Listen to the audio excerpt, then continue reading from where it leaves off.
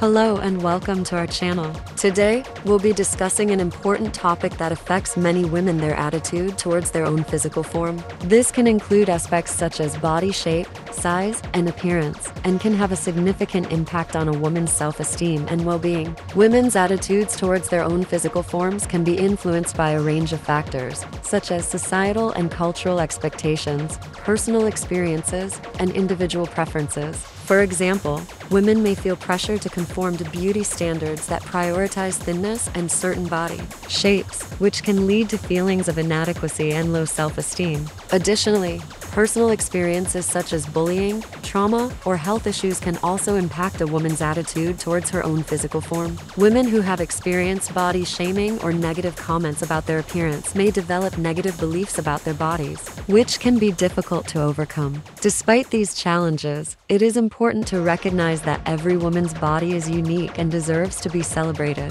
Women who prioritize self care and self acceptance are often happier and more fulfilled in their lives, regardless of their physical physical appearance. In conclusion, understanding women's psychology and their attitudes towards their own physical forms is crucial for promoting self care and self acceptance. It is important to challenge societal and cultural expectations that may promote unrealistic beauty standards, and to create a safe and supportive environment for women to express themselves and their individual preferences. By prioritizing self care and self acceptance, women can lead happier and more fulfilling lives. Thank you for watching, and we'll see you in the next video.